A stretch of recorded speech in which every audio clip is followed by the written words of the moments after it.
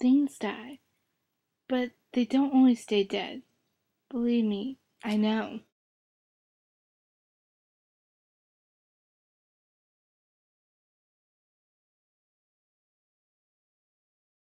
Hey guys, it's me, Christina. I'm going to be reviewing Frostbite by Richelle Mead, the second in the Vampire Academy series. I really loved this one. This one was filled with so much, like, oh my god.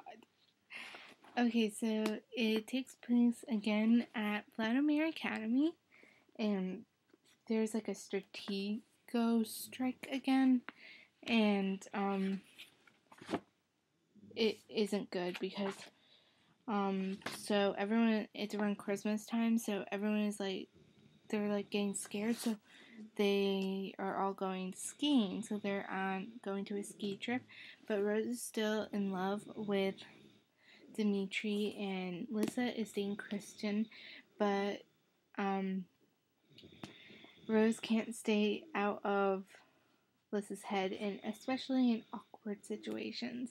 If you read this one, you know what I mean.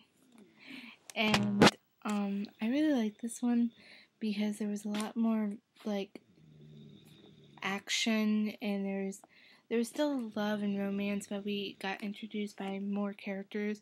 In this one, we got Tasha, who is Christian's aunt, and we got um, Janine, Janine, which is Rose's mom, which um, Rose and her mom don't really have a really good relationship.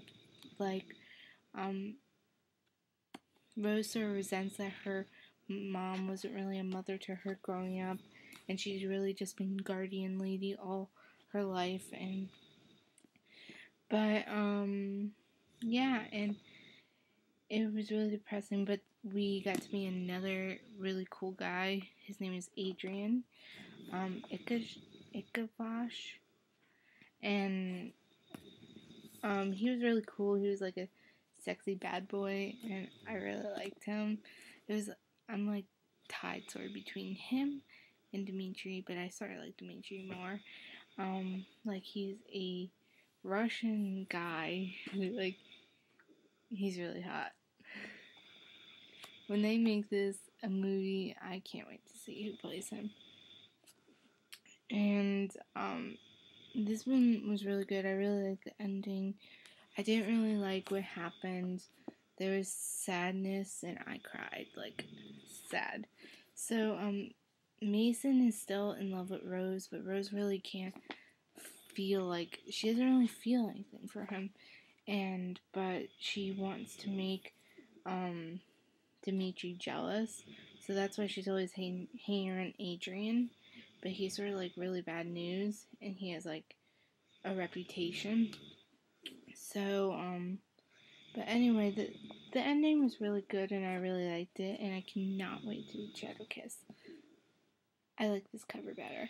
I do not like the new improved covers, but um, I was really lucky to be in my borders and found this version because I like this version of Shadow Kiss more.